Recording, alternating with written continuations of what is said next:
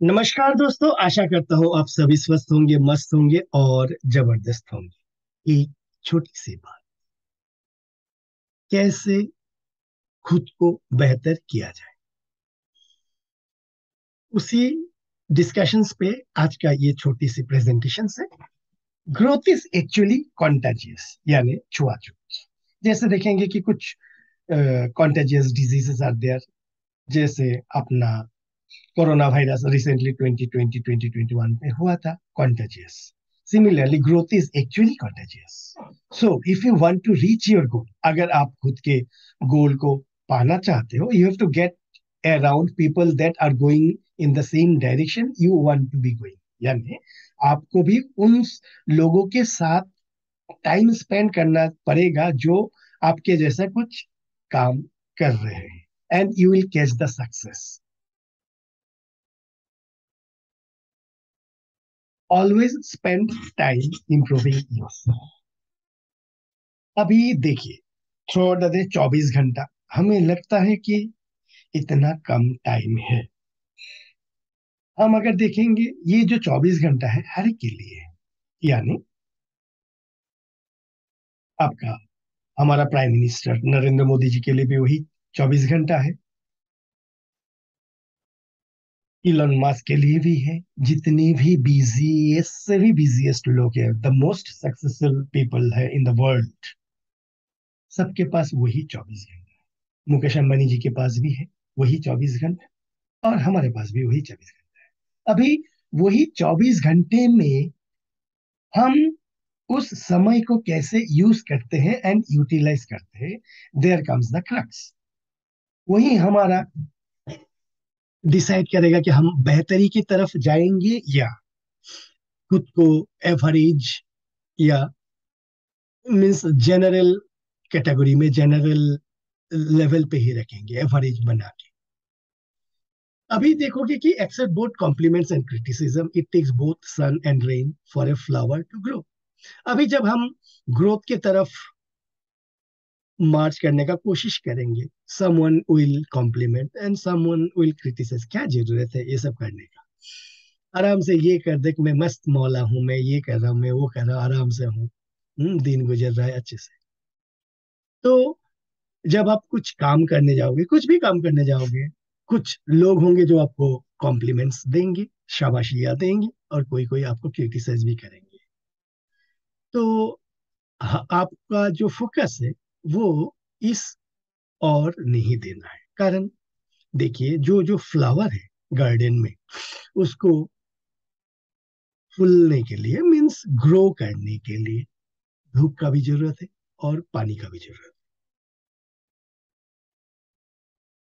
है। एक स्टोरी था कि एक फ्रॉग नीचे से ऊपर जाने के लिए ठाना।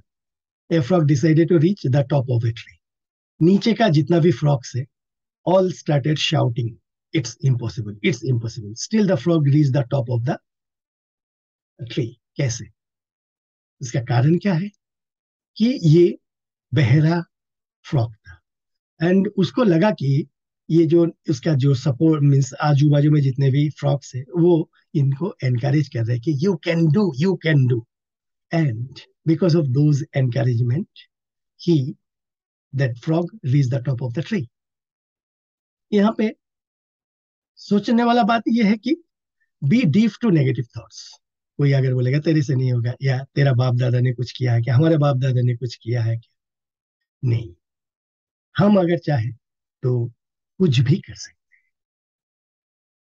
Not all storms come to disrupt your life some come to clear a path यानी जब हम कुछ करने के लिए आगे बढ़ेंगे तो कभी कभी सक्सेस मिलने की जगह पे फेलियर्स भी मिल सकते हैं। तब हमें मेंटली इमोशनली एंड साइकोलॉजिकली टूट नहीं जाना है। क्योंकि जितने भी स्टॉर्म्स आते हैं, तूफ़ान, आंधी, जितने भी आते हैं ऑल जो स्टॉर्म्स आते हैं, वो हमें डिजरप्ट करने के लिए नहीं होते। हमारे लाइफ को डिजरप्ट करने के लिए नहीं होते। कभी कभी हम ऐसा कुछ करते हैं जो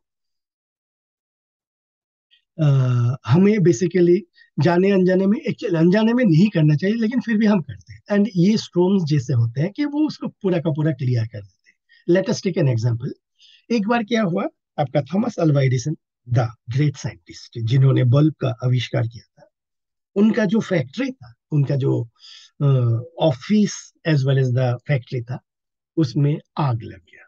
एंड आग इतना खतरनाक था कि पूरा का पूरा फैक्ट्री ही जल गया। एक भी चीज़ बचा नहीं था। जब उनको खबर मिला, उनके ऑफ़िस वाले ने खबर दिया कि ऐसा ऐसा हुआ है सब तो वो अपनी बेटी के साथ आया देखने के लिए। देखने के लिए आया देखने के बाद उसने हंसने लगा। बहुत हंसने लगा ज़ोर ज़ोर से हंसने लगा। सब सोचे कि यार एडिसन पागल हो गया क्या? By seeing this type of disaster तो कुछ देर के बाद एडिसन ने अपने बेटे को बोला जा, तू अपने माँ को लेके आ। मैं कुछ दिखाना चाहता हूँ। तो बेटा बाप का कहा सुन के माँ को लेके आए। जब माँ लेके माँ आ गए वहाँ पे, उस साइड, जगह पे, जहाँ से मीन्स आग देख रहे पूरा का पूरा तो तब, तभी वो हंस रहे थे। तो एडिसन के वाइफ ने पूछा, आप क्यों हंस रहे हो?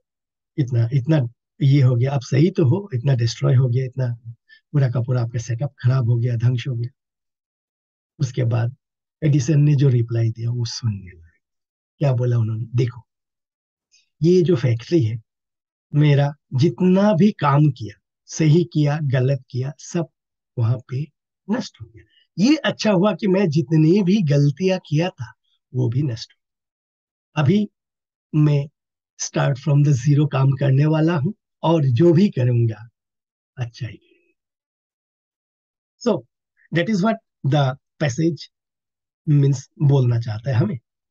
Know your self to improve your self यानी खुद को जानना पड़ेगा। खुद को अवेयर होना पड़ेगा। मैं जब यहाँ पे बैठा हुआ हूँ, मैं कैसे सांस ले रहा हूँ, मैं कैसे फील कर रहा हूँ, कोई मेरे को कुछ बोल रहा है, चाहे वो मैं पेरेंट्स हो, मेरे फैमिली मेंबर्स हो फ्रेंड्स हो टीचर्स हो, या और कोई भी हो तो रेगुलर बेसिस में वो कुछ ना कुछ कहते रहते हैं, बोलते रहते हैं। और हम लोग अगर कुछ काम में इतना इन्वॉल्व हो जाते हैं कि कुछ सुनते नहीं, हमें अवेयर होना पड़ेगा कि कौन क्या बोल रहा है। और वहाँ से फ़िल्टर आउट करके सर्टेन इंफॉर्मेशन हमारे अंदर में लाना पड़ेगा एंड सर्टेन इंफॉर्मेशन को गेट के बाहर ही छोड़ना पड़ेगा ताकि हमारे माइंडसेट को डिस्टर्ब ना करे। इसीलिए खुद को अगर इम्प्रूव करना है तो खुद को जानना ज़रूरी है। We need to be aware of हम क्या पसंद करते हैं, हम क्या पसंद नहीं करते हैं, हमें क्या अच्छा लगता है, हमें क्या अच्छा नहीं लगता है, हम कौन सी चीज़ में बहुत अच्छे हैं और हम कौन सा चीज़ में अच्छे हैं या एवरेज है। The best contribution to that one can make to humanity is to improve one यानी हमें अगर ह्यूमैनिटी में कुछ अगर अच्छा कंट्रीब्यूट करना है तो खुद को इम्प्रूव करना चाहिए क्योंकि हम अगर इम्प्रूव होंगे तो हमारे आजू बाजू के दो पाँच लोग भी इम्प्रूव होंगे चाहे वो हमारा फैमिली मेंबर्स हो, चाहे वो हमारे फ्रेंड्स हो या नेबर्स हो A bad attitude is like a flat tire. You can't go very far until you change it. जैसे हम लोग गाड़ी चलाते हैं, चाहे वो फोर व्हीलर्स हो टू व्हीलर्स हो तो जब उसका टायर पंक्चर हो जाता है एंड हवा बिल्कुल नहीं रहता है that is a flat tyre and वो गाड़ी ज़्यादा देर तक चल नहीं सकता जब तक हम उसको टायर को फिर दोबारा रिपेयर ना करें, हवा दोबारा ना डाले, पंक्चर को रेक्टिफाई ना करे तो ये ज़्यादा दूर तक नहीं जा सकता सिमिलरली हमारा जो एटीट्यूड है एटीट्यूड जो है वो कुछ अच्छे एटीट्यूड है, कुछ हमारे बुरी एटीट्यूड तो हमारा जो बुरे एटीट्यूड से बैड एटीट्यूड से, उसको हमें चेंज करना पड़ेगा जस्ट लाइक ए फ्लैट तभी जाके हम गुड एटीट्यूड के साथ आगे बढ़ पाएँगे। The only person you should try to be better than is the person you were yesterday. यानी आपका कंपैरिजन ना ही मुकेश अंबानी जी के साथ होगा, ना ही इलन मस्क के साथ होगा, ना ही स्टीव जॉब्स के साथ होगा, ना जेफ बिजूस के साथ होगा। ना आपका नरेंद्र मोदी जी के साथ होगा, किसी के साथ नहीं होगा। ना आपके दोस्तों के साथ होगा जो आपसे काफ़ी आगे है कामों में। नो क्यों? आप दूसरे से बेहतर नहीं होना चाहिए। क्योंकि सपोज़ एक एग्जांपल है, आप एक क्लासरूम में हो एंड देर आर से fifty students in the class and आपका जो रैंकिंग है suppose tenth so there are first position वाला स्टूडेंट होंगे सेकंड पोजीशन वाला स्टूडेंट होंगे। आपका टारगेट क्या होगा कि फ़र्स्ट को बीट करना। एक बार आपने अगर फ़र्स्ट को बीट कर दिया एंड आपने फ़र्स्ट पोजीशन ऑक्यूपाई कर लिया व्हाट नेक्स्ट आपका टारगेट खत्म हो गया। Then you too need to find out next target next target क्या होगा कि आपके प्लेस पे, जगह पे जो सिटी है या टाउन है या डिस्ट्रिक्ट है या स्टेट है, वहाँ पे मैं कैसे बेहतर बनू? ठीक है। मान लीजिए कि स्टेट का कंपटीशन है, आपने स्टेट में नंबर वन होने का प्रयास किया। एक बार आपने स्टेट लेवल पे टॉप हो गया नंबर हो गया नंबर वन हो गया व्हाट नेक्स्ट उसके बाद ये हो सकता है कि आपका नेशनल लेवल में टॉप करने का कोशिश करोगे। ठीक है, बढ़िया है। तो आप उसके बाद नेशनल लेवल पे कॉम्पीट करके आप नंबर वन बन गए। व्हाट नेक्स्ट मैं भी आप ग्लोबल लेवल पे कॉम्पीट करने का कोशिश करोगे। एक बार आपने ग्लोबल लेवल पे कॉम्पीट करने का कोशिश किया और ग्लोबल लेवल पे एक नंबर हो भी गया व्हाट नेक्स्ट उसके बाद तो कुछ नहीं है। यानी आपका जो टारगेट है, आपका जो रेफरेंस पॉइंट है, वो धीरे धीरे डिजिपेयर होना चालू होगा। लेकिन उस टारगेट जो फ़र्स्ट पर्सन का आपने टारगेट कर थे, उसके जगह पे अगर आप खुद को टारगेट करते हो कि मैं कल कैसा था और आज कैसा हूँ और कल, आने वाले कल में मैं कैसा बनूँगा, उसी को मैं खुद को अगर रेफरेंस पॉइंट मान के आगे बढ़ने का कोशिश करता हूँ देन क्या होगा? It will be a never ending process never ending process का मतलब क्या है? कभी भी खत्म नहीं होने वाला है वो process and after one year two year five years आप कौन सा लेवल पे होगे? आपको खुद को भी पता नहीं है.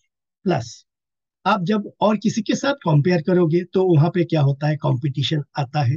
कंपटीशन के साथ साथ आपका इमोशंस भी जग जाते हैं। इमोशंस कभी ईगो में बदल जाते हैं, कभी फ्रस्ट्रेशन में बदल जाते हैं, कभी आपका सेल्फ कॉन्फिडेंस ऐसा हो जाता है कि हमसे बड़ा कौन है एंड दैट इज़ नेगेटिव लेकिन आप अगर खुद से कंपेयर करोगे, खुद से बेहतर बनने का कोशिश करोगे तो आप का ये जेलसी है, आपका ये ईगो है, आपका ये फ्रस्ट्रेशन है, आपका ये मीन्स एक मीन्स एटीट्यूड है, वो नहीं रहेगा।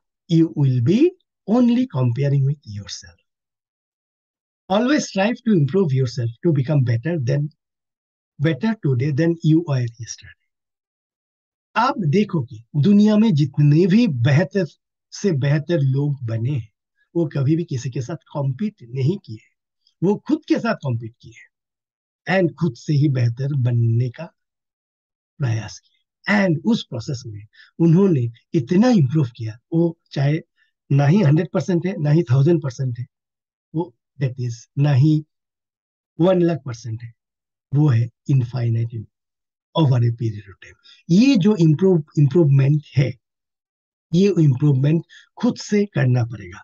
उसको कैसे करना है? आप कुछ मीन्स आप जिस भी फ़ील्ड में हो सपोज़ कोई अगर स्टूडेंट है एंड प्रिपेयरिंग फॉर आईएएस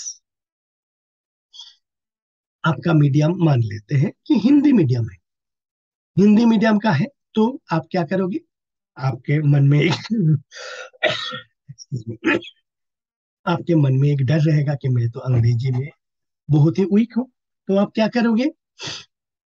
आपका ये मन, मन के अंदर में एक डर बैठा रहेगा कि अरे यार उस डर से जीतना है। कैसे जीतना है? रोज पाँच पाँच दस दस वर्ड्स आप उसको जानने का समझने का एंड इम्प्लीमेंट करने का प्रयास करो। रोज करो।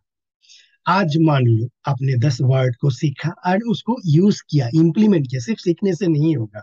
आपको डेली जो राइटिंग में बोलचाल में उस वर्ड्स को यूज़ करना पड़ेगा। आज किया, फिर कल किया, फिर परसों किया, एक हफ़्ता होने के बाद आपको एक तो अपने डेली रिविजन्स कर रहे थे, फिर एक हफ़्ता होने के बाद आपको वीकली रिविजन्स करना दो हफ़्ता होने के बाद आपको पंद्रह दिन का रिविजन्स करना पड़ेगा। एक महीना होने के बाद आपको मंथली रिविजन्स करना पड़ेगा। तीन महीना होने के बाद आपको क्वार्टरली रिविजन करना पड़ेगा। छह महीना होने के बाद आपको हाफ़ ईयरली रिविजन करना पड़ेगा एंड सो ऑन यानी रिविजन आर मस्ट नहीं तो हम इधर नया नया सीखते हैं और उधर जब नया सीखते हैं तो पुराना भूल जाते हैं। इसीलिए रिविजन इज़ मस्ट उसके बाद मान लीजिए कि आपका मेमोरी पावर थोड़ा सा स्लो है या थोड़ा सा वीक है। तो आपको ये प्रयास करना पड़ेगा कि मैं अपने मेमोरी पावर को कैसे एनहेंस करूँ, कैसे बेहतर करूँ? तो क्या होगा? मान लो अभी आप इस मोमेंट में कुछ एक वर्ड पढ़े हो या सेंटेंस पढ़े हो या पैराग्राफ पढ़े हो, क्या पढ़े हो उसको रिवाइज करो। रात को सोने से पहले आपने दिन भर में क्या पढ़ा है उसको रिवाइज करो। बाजू में साइड में आप अपना कॉपी रखो जहाँ पे आपने नोट किए हैं कि मेरे को ये ये करना है। इन बिटवीन पहले पहले क्या होगा? आप भूल जाओगे, अरे यार, दस अगर चीज़ें पढ़े हो तो मैं भी तीन चार ही आपको याद रहेगा रिमेनिंग भूल जाओगे। तो आप कॉपी खोल लो कॉपी खोल के उसको देख लो। देखने के बाद फिर बंद करके उसको रिवाइज करो। नेक्स्ट डे मॉर्निंग उसी को रिपीट करो। आप नेक्स्ट डे मॉर्निंग देखोगे कि वैसे ही तीन या चार ही याद आ रहा है, बाकी याद नहीं आ रहा कोई बात नहीं। फिर रिपीट करो। कॉपी खोल लो रिवाइज करो, उसके बाद नेक्स्ट दिन का, कल का एक्टिविटीज़ करो। जब कल का एक्टिविटीज़ करोगे ड्यूरिंग द डे मान लो लंच के बाद या कभी भी आपका फ्री टाइम में आप रिवाइज करो कि मैंने कल क्या पढ़ा था। फिर रात को जब आप सोने जाओगे तो जो कल दिन में आपने पढ़ा है, उसका रिवाइज करो। एंड ग्रेजुअली आप प्रैक्टिस करते रहो। Over a period of time आप अगर रेगुलरली इसको प्रैक्टिस करते हो तो आपका मेमोरी ऐसा होगा कि आप ए टू जेड अपने कल के, क्या, कौन सा टॉपिक पढ़े थे? परसों कौन सा टॉपिक पढ़े थे? एक हफ़्ते पहले कौन सा टॉपिक पढ़े थे? उसका आप means as it is ditto आप लिख सकते हो या रिकलेक्ट कर सकते हो। उस रिकलेक्ट को आपको रेगुलर बेसिस में रिविजन करना तो ये आप, आपके क्लास के जो टॉपर है, उसके साथ कंपीट नहीं कर रहे आप कर रहे हो खुद के साथ कंपीट कैसे कंपीट करना है? जैसे मान लो अभी आप दस में से तीन ही चीज़ आप याद रख सकते ऐसा प्रैक्टिस करोगे तो फिर चार पाँच हो जाएगा। फिर प्रैक्टिस करोगे तो वो छह सात हो जाएगा। And after one month two month and three month आपका मेमोरी इतना शार्प होगा, आप दस में से दस ही याद रख पाओगे, अगर आप प्रोसेस को फॉलो करते हो। उसके बाद एक फ़ेमस कोट है जिम रॉन का don't wish times are easier wish you और बेटर यानी कभी कभी जब हमारे सामने तकलीफें आ जाती हैं प्रॉब्लम्स आ जाते हैं परेशानी आ जाते हैं तो हम क्या करते हैं? हम ये करते हैं कि, अरे, भगवान, इतने तकलीफें मेरे साथ ही क्यों? लेकिन, हम कभी भी नहीं बोलते कि, भगवान, तुमने दिया है तो ठीक है डेफिनेटली तुमने कुछ पर्पस के लिए ही ये परेशानियाँ दिया है, ठीक है? तो मेरे को उसको फेस करने का, उसको सक्सेसफुली ओवरकम करने का भी ताकत दो। तो वही जिमरान बोल रहे हैं कि डोंट विश कि समय इजी हो। डोंट विश कभी भी ये विश मत करो। आप विश करो कि क्या आप बेटर हो रहे हो या नहीं। That is the famous quote said by Jim Rohn तो ये जो आज का छोटी सी बात है इट्स अबाउट खुद को कैसे बेहतर करें। खुद को बेहतर करने के लिए खुद के बारे में जानना पड़ेगा। मैं क्या हूँ करंट लेवल पे? एंड उस करंट लेवल से कैसे रोज छोटे छोटे इंप्रूवमेंट करूँ? और ये जो इंप्रूवमेंट होना चाहिए, ये इंप्रूवमेंट काफ़ी एरिया पे होना चाहिए। पहला हेल्थ क्योंकि आप सुपर मेमोरी वाला हो जाओगे। अगर हेल्थ अच्छा नहीं होगा तो मेमोरी अच्छा होके परफॉर्मेंस अच्छा करके रिज़ल्ट अच्छा करके क्या उखाड़ लोगे? कुछ कर नहीं पाओगे। तो इसीलिए पहला आपका हेल्थ अच्छा होना पड़ेगा। उसके लिए आपको रोज थोड़ा थोड़ा फिटनेस के ऊपर हेल्थ अच्छा होने के लिए कुछ ना कुछ एक्सरसाइजेस योगा करना पड़ेगा। नेक्स्ट है आपका माइंडसेट माइंडसेट एकदम सुप्रीम एक्सट्रीम स्ट्रांग होना चाहिए। उसके लिए आपको थोड़ा सा प्राणायाम करना पड़ेगा थोड़ा सा योगा करना पड़ेगा थोड़ा सा मेडिटेशन करना पड़ेगा ताकि आपका माइंड भी काफ़ी स्ट्रांग हो जाए, आपका मेमोरी पावर भी बहुत बढ़िया हो उसके बाद थर्ड है कि आपका जिस जिस एरिया है, मान लो किसी का मैथ्स वीक है, किसी का इंग्लिश वीक है, किसी का लोगों के साथ बातचीत करना वीक है, उसके ऊपर रेगुलर बेसिस में day in and day out आपको प्रैक्टिस करना पड़ेगा।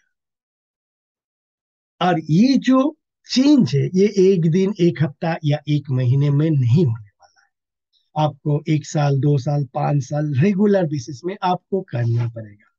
तभी जाके over a period of time जैसे एक कैटरपिलर पहले एक कीड़े की तरह होता है, लेकिन कुछ दिनों के बाद वो कैटरपिलर एक कुकुन के अंदर में कुछ समय के लिए चला जाता है। उस टाइम में कैटरपिलर को कोई देखता नहीं है। लेकिन वो कुकुन तोड़ के जब वो बाहर निकलता है, वो एक कितना सुंदर सा बटरफ्लाई बन जाता है। हमें भी वैसा ही एक कुकुन के अंदर में रहना पड़ेगा। उस कुकुन में सिर्फ़ आपका पॉजिटिविटी को आने का अलाउ करना है। नेगेटिविटी को आपको इग्नोर करना है या दरवाजे के बाहर छोड़ना है। तब जाके वो पॉजिटिविटी का जो इम्पैक्ट होगा, आपको एक कैटरपिलर से बटरफ्लाई बनने में हेल्प करेगा। वो टाइम है, कितना टाइम वो पर्सन टू पर्सन वेरी करता है। किसी का एक महीने में भी हो सकता है, किसी का एक साल भी लग सकता है, किसी का पाँच साल भी लग सकता है। तो क्योंकि उसका डिपेंड करता है कि आप खुद को कैसे कितना ट्रांसफॉर्म कर रहे हैं, कितना इंप्रूव कर रहे हैं, कितना अपडेट कर रहे हो अपग्रेड कर रहे हो। आपको यही बात अपने दिमाग में रखना है। No one is going to help you out इस दुनिया में कोई आपको हेल्प नहीं कर सकता है जब तक आप खुद को हेल्प नहीं करते हो। खुद को बेहतर करना है, खुद को अपडेट करना है, खुद को अपग्रेड करना है। एंड आप जिस फ़ील्ड में आगे बढ़ना चाहते हो, कोई अगर आईएएस का एग्ज़ाम कॉम्पिटेटिव एग्ज़ाम दे रहा है तो उनको अपना एक लाइक माइंडेड फ्रेंड सर्कल बनाना है एंड आपस में डिस्कस करना है on a regular basis not every day may be weekly और मे बी फिफ्टीन डेज़ और मे बी मंथली अरे भाई, तूने क्या क्या टॉपिक इस टाइम में किया है? मैंने ये ये किया, इसमें मेरे को ये अच्छा लगा। तुमको, तुमने जो पढ़ा, उसको मेरे को शेयर करो। तो क्या होगा? उसका भी एनर्जी लेवल से आपका भी एनर्जी और भी बूस्ट अप होगा। और आपका जो एनर्जी लेवल है, उससे सामने वाले का भी एनर्जी लेवल बूस्ट अप होगा। In this way you can create an environment आज का दिन में टेक्नोलॉजी इतना अच्छा काम करता है। Anything and everything is in your finger tip किसी से डिस्कस करना है, उसके सामने जाने का ज़रूरत नहीं है।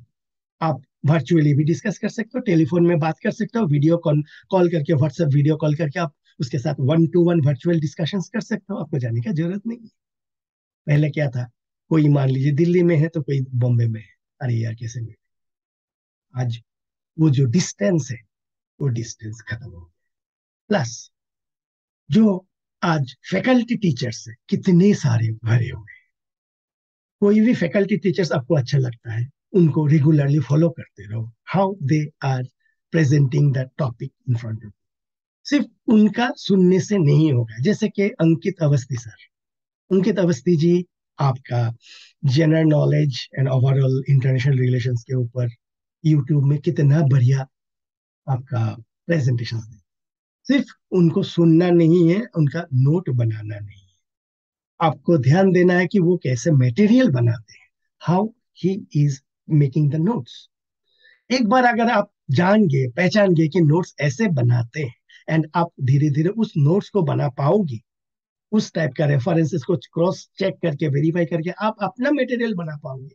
Then and only then you will be like him और you may be better than him ये हो गया यूट्यूब में हो गया डिफरेंट वेबसाइट से वहाँ से आप मटेरियल्स को, किताबों को कलेक्ट कर सकते कितना इजीली अवेलेबल हो गया आज का दिन। ये जो टेक्नोलॉजी है, जितना अच्छा है, उतना ही बुरा है। आप अगर बुरी चीज़ों को फॉलो करना चाहते हो तो बुरे से बुरा चीज़ आपके फिंगर टिप्स आप अगर अच्छा बनना चाहते हो तो अच्छे से अच्छा चीज़ आपके फिंगर टिप डिसीशन आपके हाथ में है। आप कैसे खुद को